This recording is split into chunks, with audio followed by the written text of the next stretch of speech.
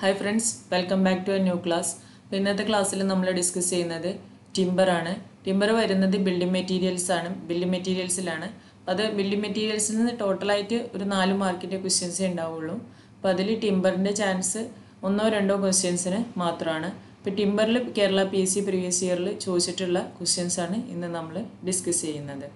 Okay so the first question the inner most central portion of tree is. അപ്പോൾ നമുക്കൊരു ടിമ്പറിന്റെ cross section നോക്കാം. ടിമ്പറിന്റെ cross സെക്ഷനിൽ വരുന്നത് pith വരുന്നുണ്ട്. ദെൻ പിത്തിനെ കവർ ചെയ്ത് വരുന്ന റിങ്ങിനെയാണ് ആനുവൽ റിങ്ങിനെയാണ് നമ്മൾ ഹാർട്ട് വുഡ് എന്ന് പറയും. ആൻഡ് ആനുവൽ റിങ് എന്ന് പറഞ്ഞാൽ എന്താണ്? ഏജിങ് ഓഫ് ട്രീ റെപ്രസെന്റ് ചെയ്യുന്ന ഈ ഒരു റിങ്സിനെയാണ് നമ്മൾ ഹാർട്ട് വുഡ് എന്ന് പറയുന്നത്. ദെൻ വരുന്നത് സാപ്പ് വുഡാണ് സാപ്പ് വുഡാണ് ഗ്രോയിങ് പാർട്ട് ഓഫ് ട്രീ ഇതും ചോദിക്കാൻ ചാൻസ് ഉണ്ട് കേട്ടോ. ഗ്രോയിങ് പാർട്ട് ഓഫ് ട്രീ ഏതാണ്? ഇറ്റ് ഇസ് സാപ്പ് വുഡാണ് ദെൻ സാപ്പുഡിന്റെയും ഇന്നർ ബാക്കിന്റെയും ഇടയിലുള്ള ഈ ഒരു സോഫ്റ്റ് പാർട്ടിനെയാണ് നമ്മൾ ക്യാമ്പിയം ലെയർ എന്ന് പറയുന്നത്. Then fibres extending from pith to sapwood sorry pith to cambium layer അതിനെയാണ് നമ്മൾ എന്ത് പറയുന്നത്? മെഡുലറി റൈസ് എന്ന് പറയുന്നത്. ദെൻ ഇന്നർ ബാർക്ക് ഉണ്ട് ആൻഡ് ഔട്ടർ കവറിങ് ആയിട്ട് ഔട്ടർ ബാർക്കും ഉണ്ട്. ഇത്രയാണ് ഒരു ടിമ്പറിന്റെ ക്രോസ് സെക്ഷനിൽ വരുന്നത്. ഇതിൽ ചോദിക്കാൻ സാധ്യതയുള്ള ക്വസ്റ്റ്യൻസ് എന്നാൽ ഇന്നർ മോസ്റ്റ് പാർട്ട് ഏതാണെന്ന് ചോദിക്കും. പിന്നെ അതുപോലെ തന്നെ ഇന്നർ മോസ്റ്റ് പാർട്ടിനെ കവർ ചെയ്ത് നിൽക്കുന്ന ആനുവൽ കവർ ചെയ്ത് നിൽക്കുന്ന പാർട്ട് ഏതാണ്? ഇറ്റ് ഈസ് ഹാർട്ട് വുഡ് ആണ്. ആൻഡ് അതുപോലെ തന്നെ ഈ ഏജിങ് റെപ്രസെന്റ് ചെയ്യുന്നത് ഏതാണ്? ഇറ്റ് ഇസ് ആനുവൽ റിങ് അതുപോലെ ചോദിക്കാനുള്ളതാണ് ഗ്രോയിങ് പാർട്ട് ഓഫ് ട്രീ ഏതാണ്? ഇറ്റ് ഇസ് സാപ്വുഡ് നോർമലി ഈ ക്വസ്റ്റ്യൻസ് ആണ് ഈ ഒരു മേഖലയിൽ നിന്ന് നമ്മൾ ചോദിച്ചു കണ്ടിട്ടുള്ളത്. So inner most central portion of tree is ഭിത്താണ് okay ഇനി അടുത്ത ക്വസ്റ്റ്യനിലേക്ക് പോവാം. നെക്സ്റ്റ് ക്വസ്റ്റ്യൻ വരുന്നത് as per I S three ninety nine one nine six three classification of commercial timber and their zonal distribution weight per cubic metre of various timber is standardized at dash moisture content I S three ninety nine nineteen sixty three code പ്രകാരം ആ code പറയുന്നത് classification of commercial timber and their zonal distribution ആണ്. ആ code പ്രകാരം weight per cubic metre നമ്മൾ എപ്പോഴാണ് ഒരു ടിമ്പറിന്റെ weight per cubic metre standardize ചെയ്യുന്നത്? ഏത് മോയ്സ്ചർ കണ്ടന്റിലാണെന്നാണ് ചോദിച്ചിട്ടുള്ളത്. So it is in twelve percentage moisture content നമ്മൾ സീസണിങ് ചെയ്തിട്ട് മോയ്സ്ചർ കുറക്കുന്നത് ടെൻ ടു ട്വൽവ് പെർസെന്റേജിലേക്കാണ് ഓക്കെ അപ്പോൾ ട്വൽവ് പെർസെന്റേജ് മോയ്സ്ചർ കണ്ടന്റ് ആകുമ്പോഴാണ് നമ്മൾ weight by cubic metre of a timber എടുക്കുന്നത്. അതാണ് standardized weight of a timber എന്ന് പറയുന്നത്. Okay next question which of the following statement is not correct താഴെ തന്നിട്ടുള്ള ഇതിൽ കറക്റ്റ് അല്ലാത്ത സ്റ്റേറ്റ്മെന്റ് ഏതാണെന്നാണ് ചോദിച്ചിട്ടുള്ളത്. Seasoning of timber increases the strength seasoning of timber increases the life seasoning of timber result in dimensional instability seasoning of timber reduces the weight നമുക്കറിയാം ടിമ്പറിൽ almost fifty percentage of moisture ഉണ്ടാവും. Cavity വാട്ടറായിട്ടും cell വാട്ടറായിട്ടുമാണ് ഈ moisture content ടിമ്പറിൽ present ചെയ്യുന്നത്. ടിമ്പറിൽ exist ചെയ്യുന്നത്. And ഈ മോയ്സ്ചർ കണ്ടന്റ് കുറയ്ക്കാൻ വേണ്ടിയിട്ടാണ് നമ്മൾ സീസണിങ് ചെയ്യുന്നത്. ഡിഫറെന്റ് ടൈപ്സ് ഓഫ് സീസണിങ് ഉണ്ട്. Air seasoning kiln seasoning seasoning by boiling അതുപോലെ തന്നെ വാട്ടറിങ് സീസ് വാട്ടർ സീസണിങ് അങ്ങനെ ഡിഫറെന്റ് ടൈപ്സ് ഓഫ് സീസണിങ് ഉണ്ട്.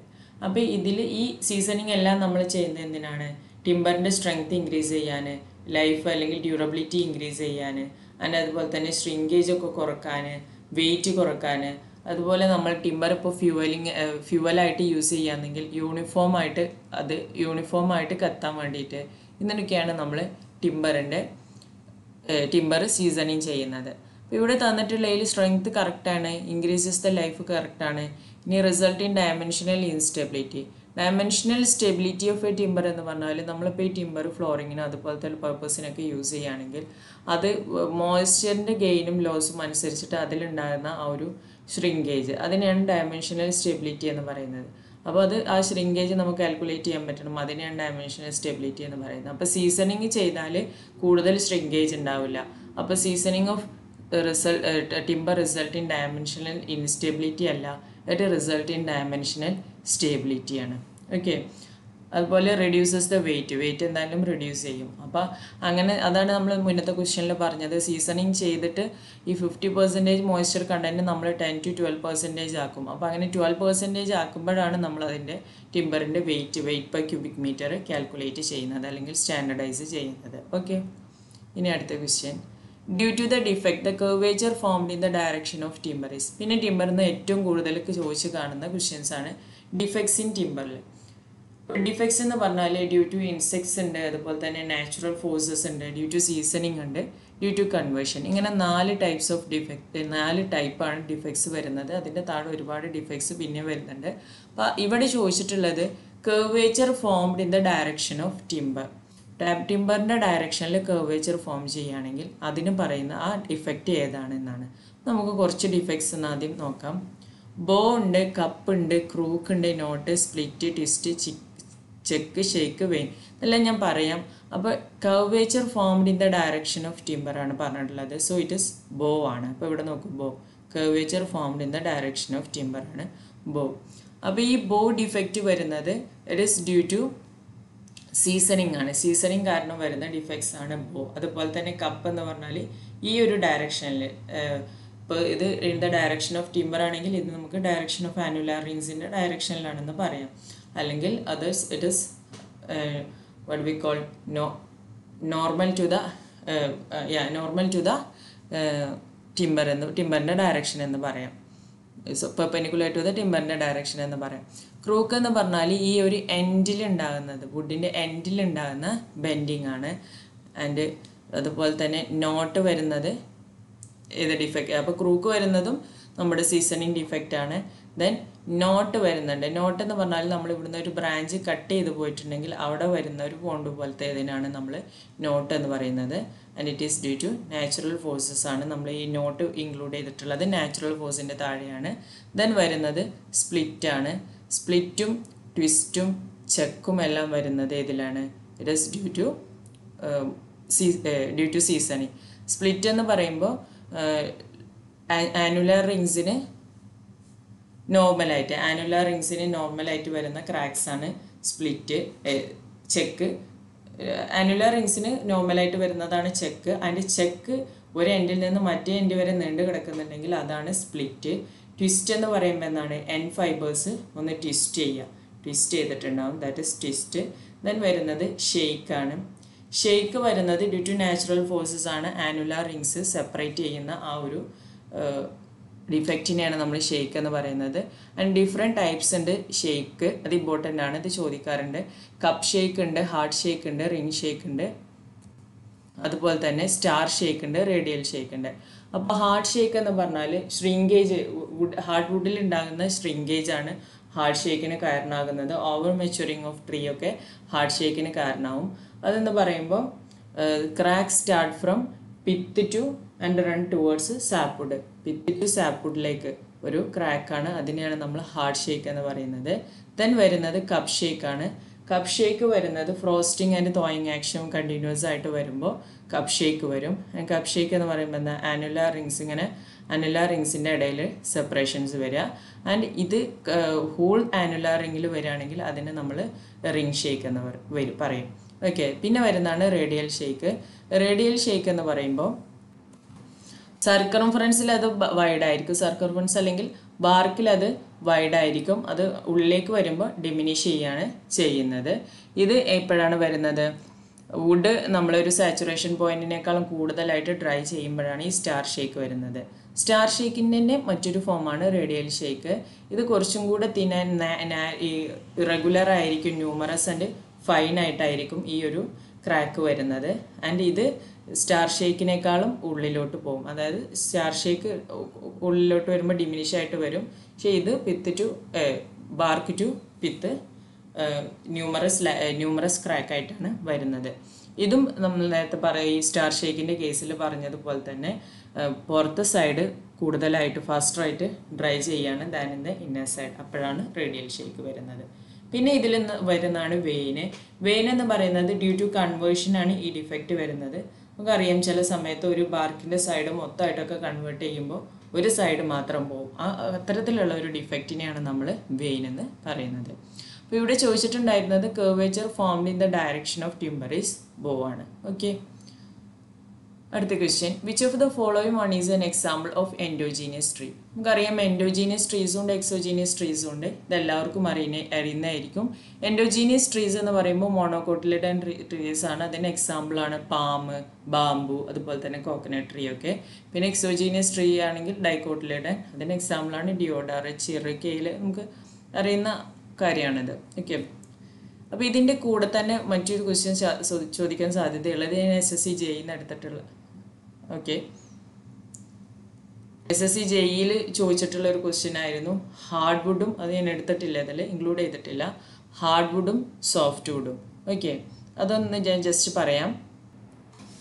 ഹാർഡ് വുഡ് എന്ന് പറയുമ്പോൾ ഡാർക്ക് ഡാർക്കർ കളർ ആയിരിക്കും ആൻഡ് ഹെവിയർ ഇൻ വെയിറ്റ് ആയിരിക്കും. അതിന് എക്സാമ്പിളാണ് തേക്ക് സാൽ അതുപോലെ തന്നെ ഷിസം ഓക്കെ ആൻഡ് അതുപോലത്തെ ട്രീസാണ് അതിന് എക്സാമ്പിളായിട്ട് വരുന്നത്. പിന്നെ സോഫ്റ്റ് വുഡ് എന്ന് പറയുമ്പോൾ ലൈറ്റർ ഇൻ കളർ ആയിരിക്കും ആൻഡ് വെയിറ്റും ലൈറ്റ് ആയിരിക്കും. അതിന് എക്സാമ്പിൾസ് ആണ് ചെറു ഫിറ് കെയിൽ പൈനൊക്കെ വരുന്നത്.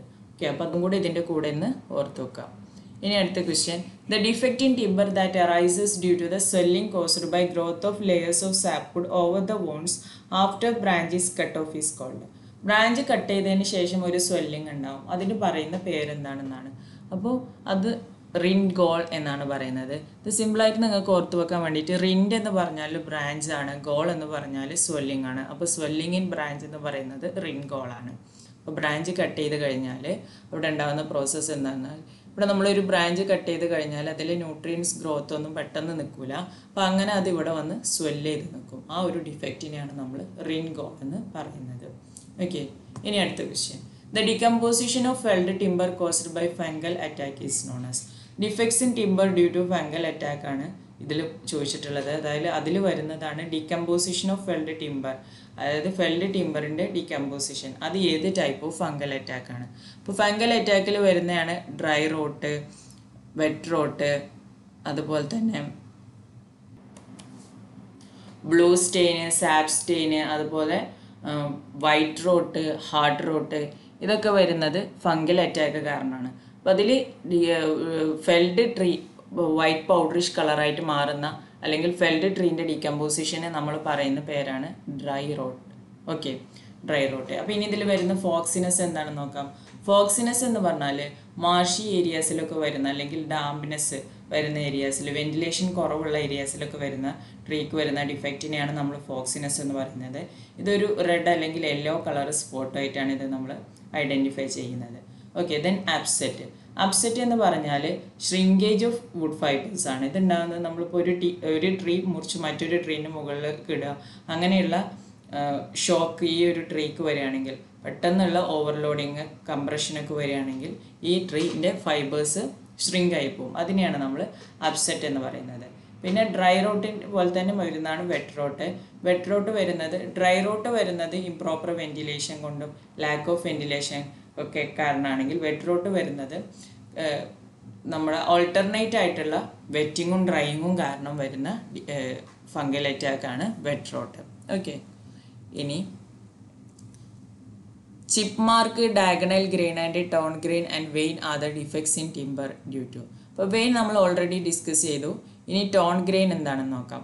ടോൺ ഗ്രെയിൻ എന്ന് പറയുമ്പോൾ ടോൺ ഗ്രെയിൻ എന്ന് പറയുമ്പോൾ നമ്മുടെ ടിമ്പറിന് മുകളിലേക്ക് എന്തെങ്കിലും ടൂൾസ് ഒക്കെ വീണിട്ടുണ്ടാകുന്ന ഡിപ്രഷൻ അതിനെയാണ് ടോൺ ഗ്രെയിൻ എന്ന് പറയുന്നത്.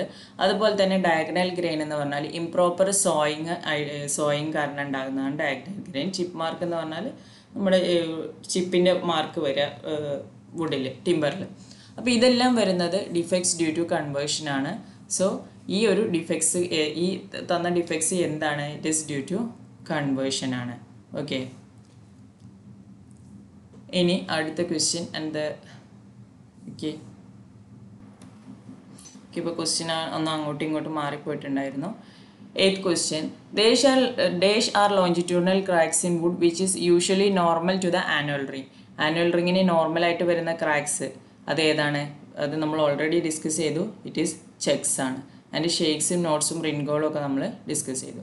മാർക്ക് ഡയഗണലിൽ ഇത് ഞാൻ നേരത്തെ പറഞ്ഞ സെയിം ക്വസ്റ്റ്യൻ ഓക്കെ ഇനി last question in this section the inner annular ring surrounding the central portion of the core of a tree is known as നമ്മൾ ഓൾറെഡി ഡിസ്കസ് ചെയ്തു. സറ കോർ പോർഷനെ സറൗണ്ട് ചെയ്തിട്ടുള്ള ആനുലർ റിങ്ങിന് നമ്മൾ പറയുന്നതാണ് ഹാർഡ്വുഡ് അപ്പോൾ ഇതിൽ എല്ലാ പാർട്സും നമ്മൾ ഫസ്റ്റ് ക്വസ്റ്റ്യനിൽ തന്നെ ഡിസ്കസ് ചെയ്തിട്ടുണ്ട്. ഓക്കെ അപ്പോൾ ഇത്രയും ക്വസ്റ്റ്യൻസ് ആണ് ഞാൻ ടിംബറിൽ ഡിസ് എടുത്തിട്ടുള്ളത്. ഇനിയും കൂടുതൽ ക്വസ്റ്റ്യൻസ് വേണം എന്നുണ്ടെങ്കിൽ നിങ്ങൾ കമൻസിലൂടെ അറിയിക്കുക. എപ്പോഴും പറയുന്നത് പോലെ ചാനൽ യൂസ്ഫുൾ ആണെങ്കിൽ ഫോളോ ചെയ്യുക ഫ്രണ്ട്സുമായിട്ടൊക്കെ ഒന്ന് ഷെയർ ചെയ്യുക. Okay thank